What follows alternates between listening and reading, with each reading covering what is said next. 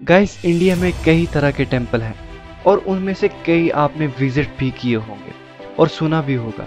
लेकिन राजस्थान में एक ऐसा यूनिक टेंपल है जो सिर्फ़ रैट्स यानी चूहों के ऊपर डेडिकेटेड है। क्या इससे पहले तक आपको ये इस मंदिर के बारे में पता था? कमेंट सेक्शन में ज़रूर बताएँ और हमारे चैनल को सब्सक्राइब ज़रूर करें।